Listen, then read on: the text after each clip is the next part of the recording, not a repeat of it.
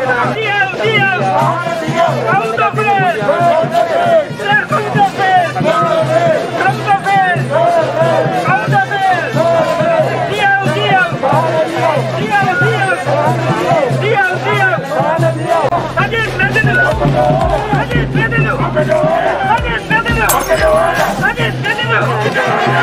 hadi. ගරු කාවින්ද ජයවර්ධන මැතිතුමනි මීගමු ආසනයේ ප්‍රධාන සංවිධායකතුමනි. ඒ වගේම අපේ ගරු අර්චන රාජකරුණා අපේ දුම්පේ මැතිවරණ කොට්ටාසේ ප්‍රධාන සංවිධායකතුමනි. අපේ සරණලාල් අත්තනගල්ල මැතිවරණ කොට්ටාසේ ප්‍රධාන සංවිධායකතුමනි. අද දින මීගමුව කොට්ටාසේ මේ අවස්ථාවට සහභාගි වූ දයාබර මව්වරුන් පියවරුන් සහෝදර සහෝදරියන් ඔබ සියලු දෙනාගෙන්ම අවසරයි.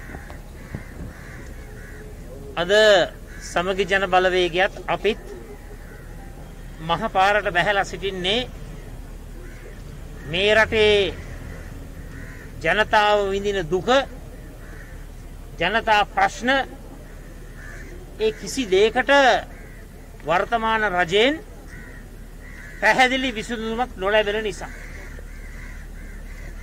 මේ ප්‍රදේශය ගත්තොත් අපි හැමෝම දන්නවා එක්ස්ප්‍රස් පර්ල් ඒ නෞකාව ගිනිබත්වීම තුළ ඒ විනාසය තුළ බරපතල පරිසරහානියක් සිද්ධ වුණ ඒ වගේම මත්ස්‍ය සම්පතට දැවන්ත හානියක් සිද්ධ වෙලා මේ වෙන විට දීවර ජනතාව ගැටලු රාසියකට ලක් වෙලා. දීවර රස්සාව කරන ජනතාව කවදාවත් සහනාධාරවලින් යැපුණේ නැහැ. ඒ ඇත්තෝ තමන්ගේ දීවර රැකියාව කරගෙන කාටත් බරක් නැතුව රටටත් ආණ්ඩුවටත් ජනතාවටත් බරක් නැතුව ජීවිකාව කරගෙන ගිය. නමුත් අද වෙනකොට තත්ත්වය මොකක්ද දීවරයට ලබා දෙනවයි කියපු වන්දිය. කට වචනයට සීමා වෙලා. කිසිම වන්දියක් දීල නැහැ. මේ වන විට අපිට පේන දේ තමයි ලංකා ආණ්ඩුව එක්ස්ප්‍රස් පර්ල් නෞකාවේ ආම් පුතුන්ට යට වෙලා. දැන් එක්ස්ප්‍රස් පර්ල් නෞකාවට සම්බන්ධ රක්ෂණ සමාගම තමයි තීන්දු කරන්නේ. අන්තර්කාලීනව ලබා දෙන වන්නේ මුදලක්. ඒ නිසාද පැහැදිලිවම අපිට පේනවා මේ රජයට කසේරුකාවක් නැහැ. පොදු නාරටියක් නැහැ. මහ ලොකුවට බලයට ආවේ ශක්තිමත් ආණ්ඩුවක් බිහි කරනවයි කියලා. ශක්තිමත් ආණ්ඩුවක් පොරොන්දු වුණු මේ පොහොට්ටුවේ කණ්ඩායම මේ රටේ ඉතිහාසයේ බිහි වුණු දුර්වලම ආණ්ඩුව බිහි කරලා තියෙන. කෝ දීවරයට ලබා දෙනවා කියපු සහන ටික. දැන් කොහොමද දීවර ප්‍රජාව රැකියාව කරන්න බැරිව ජීවත් වෙන්නේ? මතක තියාගන්න මේ කතා කරන මොහොතෙත් අර එක්ස්ප්‍රස් පර්ල් නැවෙන් තෙල් කාන්දු වෙනවා. එක පැත්තකින් මත්ස්‍ය සම්පත විනාශ වෙනවා. තවත් පැත්තකින් මහා දැවැන්ත පරිසර හානියක් සිද්ධ වෙනවා. ගොවියා අනාතයි. එන්නත් කරණය පටන් ගත්තේ පරක්කු වෙලා. ඇයි රටට කිව්වා එන්නතට වැඩිය හොඳයි පැණිය කියලා. රටට කිව්වා එන්නත් වලට වැඩිය හොඳයි මුට්ටි ටික ගඟට දාන එක. මොන විහිළුවක්ද? මොන රැවටිල්ලක්ද? මාර්ගගත අධ්‍යාපනය හරියට කරන්නට බැරිව අද දූ දරුවන් අනාථ වෙලා බොහෝ දරුවන්ට ඒ පහසුකම් නැහැ. ඔන්ලයින් අධ්‍යාපනය නිසා අසරණ වෙලා ආණ්ඩුවට විකල්පයක් නැහැ. ඒ ඔක්කොටම වැඩිය විෂය නිර්දේශය ආවරණය කරන්න නැතුව ඒ ලෙවල් විභාගෙ තියන්න යනවා. ශිෂ්‍යත්ව විභාගෙ තියන්න යනවා.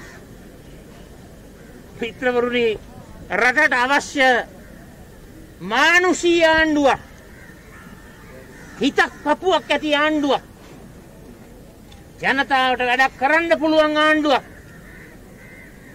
ප්‍රබුද්ධ ආණ්ඩුවක් ප්‍රශස්ත ජනතා සේවාවක් කරන්න පුළුවන් ආණ්ඩුවක් අපි හැමෝටම පේනවා සමගි ජන බලවේගයේ කාලය එනවා. දැන් ළඟ ළඟ එනවා. ජන බලයෙන් ජන සවියෙන් ජන ශක්තියෙන් අපේම ජනතාවාදී ආණ්ඩුවක් පිහිටවනකොට දුකට පත්වී සිටින මීගමු බල ප්‍රදේශයේ පමණක් නෙවෙයි මේ මුළු වැල්ලකරේම දීවර ප්‍රජාවගේ අනාගත සුරක්ෂිත භාවය අපි සලසනවා ඒ වගේම ගොවි ජනතාව කම්කරු ජනතාව දුප්පත් ජනතාව මධ්‍යම පාන්තික ජනතාව ඒ වගේම අද මහපාරට බැහැලා තියෙන ගුරු පරපුර අධ්‍යාපනය හරියට ක්‍රියාත්මක නොවන නිසා අසරණ වී සිටින සිසු පරපුර මේ හැම දෙනාම අපි රැක බලා ගන්නවා. බලන්න මිත්‍රවරුනි අද රෝහල් වල කෝවිඩ් ආසාදිතින් පිරීලා දැඩි සත්කාර ඇඳන් නැහැ. හැබැයි රජයේ සේවකින්ට කියනවා හැමෝටම සේවයට වාර්තා කරන්නලු. ඒ කියන්නේ ගර්භණී අම්මටත් කියන්නේ සේවයට එන්නේ කියලා. මේ ඩෙල්ටා රැල්ල මැත්තේ ඩෙල්ටා රැල්ල ක්‍රියාත්මක වෙන මොහොතක ආණ්ඩුව කියනවා ගර්භණී මව්වරු උනත් කමක් නැහැ රාජ්‍ය සේවකයන් එන්නට ඕන. කුඩා දරුවෝ ඉන්න මව්වරුන්ට කිරිදෙන මව්වරුන්ට ගර්භණී මව්වරුන්ට මේ වගේ තත්ත්වයක් මත අනිවාර්යෙන්ම සේවයට වාර්තා කරන්නේ කියන එක සාධාරණද? කෝ මනුස්සකම? කෝ මනුෂ්‍යත්වය? අපි අහන්න කැමතියි. මිත්‍රවරුනි මිනිස්සුන්ගේ සිතුම් පැතුම් ගැන හිතන්න නැති ආණ්ඩුවක් මේක. මේ ආණ්ඩුව හිතන්නේ තමන් වටේ සිටින ගෝලබාලින් ගැන පමණයි. ඒ අය ගැන පමණයි හිතන්නේ. නමුත් අපි හැමෝම දන්නවා අද රටේ අතිමහත් බහුතරයක් සත්‍ය අවබෝධ කරගෙන තිබෙනවා. ඒ නිසා තමුන්නාන්සලා සමගි ජන බලවේගයේ කෙරෙහි විශ්වාසය තබන්න ජන දුක හඳුනන ජනතාවට සේවය කරන ජනතාවට මනුෂ්‍යත්වයේ නාමෙන් ජීවත් වීමේ අයිතිය සමගි ජන බලවේග ආණ්ඩුවක් හරහා අපි ලබා දෙනවයි කියන එක මම මේ අවස්ථාවේ බොහොම වගකීමෙන් තමුන්නාන්සලා ප්‍රකාශ කරනවා.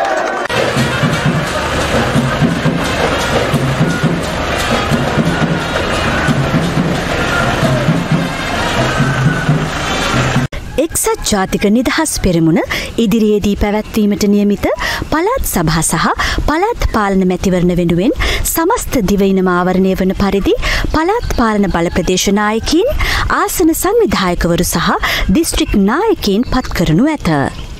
සමාජ සේවයට හා දේශපාලනයට ලැදි ඔබත් කැමතිනම් බිඳුවයි හත්සිය හැත්ත හතයි එකසිය පනස් හතයි හයසිය තිස් හතර හෝ බිඳුවයි හත්සිය හැත්ත හතයි හත්සිය හැත්තෑවයි හාරසිය අනු දෙක හෝ බිඳුවයි හැත්ත හතයි දෙසිය අනුවයි බිඳුවයි නවසිය අමතන්න.